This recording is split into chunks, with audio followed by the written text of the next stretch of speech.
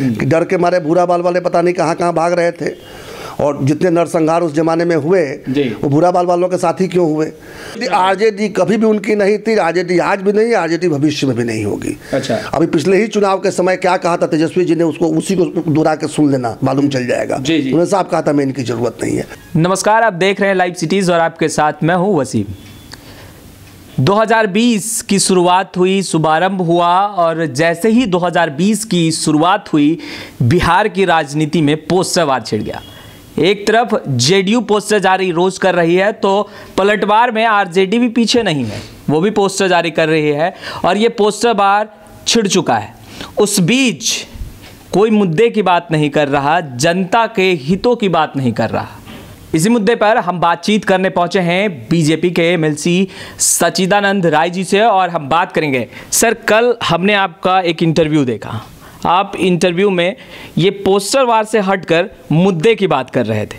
Live cities का भी यही प्रश्न है, जहाँ एक तरफ़ सत सत्ताधारी की बात करें या विपक्ष की बात करें, दोनों ही पोस्टर में उलझे हुए हैं, एक दूसरे पर लालछन लगाने पे लगे हैं। आप मुद्दे की बात कुछ कर रहे थे। लाइव सिटीज़ के माध्यम से यही प्रश्न है कि इस बार का मुद्दा क्या है विधानसभा चुनाव? देखिए जहाँ तक पोस्टर का सवाल है वसीम जी पोस्टर वही कह रहे हैं जो सच है। निश्चित रूप से जनता के सामने पंद्रह साल बनाम पंद्रह साल का प्रश्न तो है। जी। पंद्रह वर्ष पहले जब एनडीए की सरकार आई थी तो उसमें बिहार कहाँ था? और आज बिहार कहाँ है? ये तुलना तो जनता करेगी हम करें या ना करें तो पोस्टर पे ये इशू आया है। जैसे उदाहरण स्वरूप बता दूँ 2001 के सेंसस में क्योंकि सेंसस के समय ही ये सब आंकड़े आते हैं अ, बिहार में अ, साक्षरता करीब करीब 50 प्रतिशत के आसपास था जिसमें महिलाओं की साक्षरता 33 प्रतिशत के आसपास जी बिल्कुल। 2011 में हमारे छः साल की सरकार के बाद ही यह आंकड़ा उछल गया। अब महिलाओं की साक्षरता अकेले जो है अड़सठ प्रतिशत हो गई। मैंने डबल से भी ज़्यादा। अब 2021 में मैं समझता हूँ कि शत प्रतिशत के आसपास होगी। या बहुत करीब होगी मैंने सौ के बहुत करीब होगी। और उस समय चैलेंज यही था। उसमें जो सरकार आई थी सरकार के सामने कई चुनौतियाँ थी। शिक्षा में ये चुनौती थी। दूसरी तरफ़ चुनौती थी सड़कें नहीं थी। सड़कों का बनना था। आज अंतिम मील की सड़कें बन रही हैं। बड़ी सड़कें तो बन चुकी हैं। जो। सड़कें पहले बनी थी उनको उनकी मरम्मती भी हो रहा है समय समय से बिजली बिजली जो पहले पहले बिजली का नाम तक नहीं जानते थे लोग ठीक से गाँव में डिबरी और दिया और लालटेन छोड़कर। वो इस सरकार के आने के बाद पहले तो गाँव में बिजली पहुँची। अब हर घर तक बिजली पहुँच गई। लगभग शत प्रतिशत विद्युतीकरण हो चुका है। जी। उसी तरह सड़क बिजली हो गया। पानी की बात देख रहे हैं जनजीवन हरियाली तो चल ही रहा है। इसके पहले से हर घर नल का जल। कितना सफल है कितना असफल है उसको लेकर बहुत सी बातें हो सकती हैं। लेकिन सरकार की प्राथमिकता है हर घर तक पानी पहुंचाना उस पर प्रयास हो रहा है। और जो प्रयास करता है उसमें कुछ कमियाँ भी निकालिएगा। लेकिन प्राथमिकताएँ बड़ी साफ़ है कि हमको क्या क्या करना है। और उसमें सफलता मिली है। स्वास्थ्य एक ज़रूर ऐसा क्षेत्र रहा है जहाँ पर सफलता वांछित जो सफलता थी वो नहीं मिली। उसको भी हमने अध्ययन करके पता किया है कि एक तो हर एक प्राथमिक स्वास्थ्य केंद्र भी कई खुले हैं, कई सामुदायिक स्वास्थ्य केंद्र खुले हैं, लेकिन सबसे बड़ी असफलता जो हो रही है वो है चिकित्सक का न मिलना। चिकित्सक इसलिए नहीं मिल रहे कि बाहर के चिकित्सक बिहार आना नहीं चाहते और बिहार में चिकित्सक पैदा करने का प्रयास ही नहीं किया गया था। पिछली सरकारों ने तो कोई मेडिकल कॉलेज खोला ही नहीं था। इस सरकार ने भी शुरू में शायद नज़रअंदाज कर दिया। अब तो मेडिकल कॉलेज धरले से खुल रहे हैं, लेकिन इनके प्रोडक्ट आते आते और पाँच सात, दस साल लग जाएँगे। तो क्वालिटी चिकित्सक के अभाव में हमारी चिकित्सा प्रणाली जो है पूरी तरह से, मैंने कही एक तरह से कमज़ोर पड़ी हुई है। बिहार की राजनीति, बिहार की या देश की राजनीति है, जहाँ पर जातीय समीकरण, फॉर्मूला बहुत अपनाया जाता है। आप भी ब्राह्मण भूमियार और अन्य समाज को लेकर आगे बढ़ रहे हैं आप निवेदक हैं। ये बात कल जगदानंद सिंह ने हमसे बातचीत करते हुए कहा कि भूमियार और ब्राह्मण को बरगलाया गया आरजेडी से दूर किया गया। हम पहले भी उनके थे आज भी अपने हैं उन्हें विचार करना है। आप इसे पूरे प्रक्रिया को कैसे देख रहे हैं उनके बातों को कैसे देख रहे हैं? क्या सच में बरगलाया गया? मैं जगदा बाबू की बड़ी इज़्ज़त करता हूँ। जी। बड़े ही अच्छे आदमी हैं लेकिन गलत पार्टी में है। वो कितना भी वहाँ से चारा डालेंगे हाँ। आ, बुरा बाल साफ़ कर जब साफ़ हो रहा था तब वो चुप थे। तो आज भूरा बाल को समझाना बड़ा कठिन है। उन्होंने बोला ये बुरा बाल साफ़ करने के बाद कभी लालू यादव ने नहीं कहा है। उन्होंने ये भी कहा है कि यदि फोटेज वीडियो कुछ भी उपलब्ध है तो आकर हमसे बात करें और दिखाएँ। तो इसका जवाब तो आप मीडिया वाले दे सकते हैं क्योंकि आप लोगों ने इसको प्रचारित किया था तो आप उनको दिखा दीजिए कि कब भूरा बाल साफ़ हो रहा था। हम क्या बताएँगे? हमारे तो जहन में बस वही है कि डर के मारे भूरा बाल वाले पता नहीं कहाँ कहाँ भाग रहे थे। और जितने नरसंहार उस जमाने में हुए वो बुरा बाल वालों के साथ ही क्यों हुए? तो ये सब का छोड़ दीजिए वो बात जगदा बाबू ने कहा अच्छी बात है। हर कोई हम तो कहेंगे हर दल को हर दल को अ, हर वर्ग को सम्मान करना चाहिए। तो आखिर ब्राह्मण भूमिहारों में क्या कमी है? हम तो अ, समाज के निर्माण निर्माताओं में से एक रहे हैं। जी।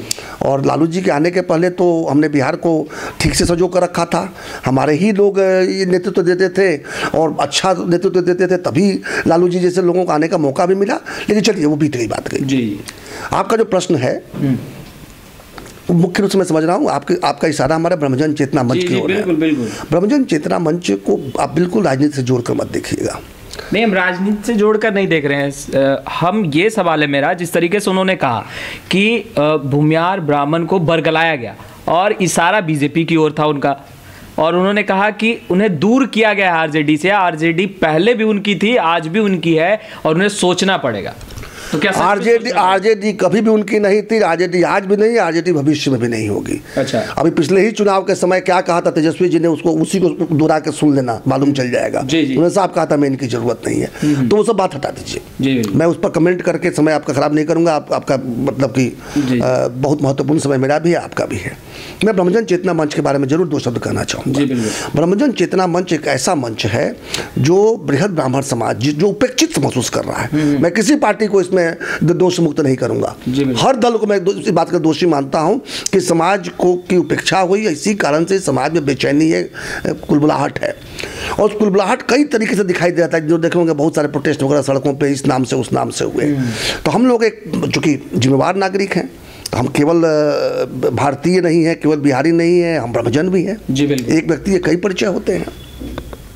तो हमने देखा कि नहीं लोगों की शिकायत हमारे नेतृत्व से है नेतृत्व का एक हिस्सा मैं भी हूँ। तो हम लोगों ने देखा कि आखिर क्या किया जा सकता है। तो ये ब्रह्मजन चेतना मंच एक ऐसा मंच बन रहा है एक ऐसा प्लेटफॉर्म बन रहा है जहाँ पर समाज के शुद्ध रूप से सामाजिक प्लेटफॉर्म बन रहा है। समाज के जो साधन संपन्न लोग हैं जैसे अच्छे चिकित्सक अच्छे शिक्षक अच्छे व्यवसायी वो अपने समाज के कमज़ोर लोगों को जिनको शिक्षा में स्वास्थ्य में रोज़गार में जिसकी बातें मैं कर रहा था बिहार के संदर्भ में वो सब बिहार के संदर्भ में है तो ब्रह्मजनों के संदर्भ में भी वो सत्य है। उसमें किस तरह से गुणवत्तापूर्वक शिक्षा स्वास्थ्य प्रशासनिक कोई सुविधा हो रोज़गार के जो जो जो मौके हों या या मशवरे हों उन सबके लिए समाज के ही जो सक्षम लोग हैं वो समाज के ज़रूरतमंदों की ज़रूरत पूरा करने का प्रयास करेंगे तो सरकार पर निर्भरता घट जाएगी। यहाँ मेरा एक थ्योरी है। अब देखिएगा जीडीपी का मुश्किल से एक चौथाई हिस्सा ही जो है कर के रूप में सरकारों के पास जाता है वो चाहे राज्य सरकार हो या देश की सरकार हो। पचहत्तर पचहत्तर प्रतिशत मतलब करीब तीन चौथाई या उससे अधिक संसाधन समाज के पास ही रह जाता है। तो अगर हर समाज, मैं सिर्फ़ ब्रह्मजन समाज की बात नहीं कर रहा हूँ, बाकी वैश्य समाज की बात कर रहा हूँ, दूसरे समाजों की बात भी कर रहा हूँ। अगर हर समाज अपने समाज के स्वाभिमान की रक्षा स्वयं कर ले तो सरकार पर से थोड़ा बोझ कम हो जाए।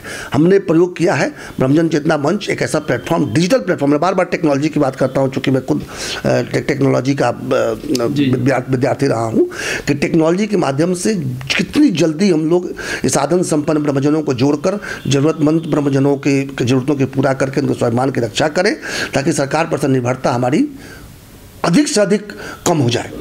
थोड़ी बहुत निर्भरता तो रही जाएगी। आखिर प्रशासनिक चीज़ तो सरकार से ही होगा लेकिन जहाँ तक स्वास्थ्य शिक्षा और इन चीज़ों की ज़रूरत होगी गुण- गुण- गुणवत्तापूर्वक चीज़ों की ज़रूरत होगी वो समाज के लोग पूरा करने में समर्थ हैं। और बहुत भरपूर समर्थन मिल रहा है लोग अपने आप आकर जुड़ रहे हैं।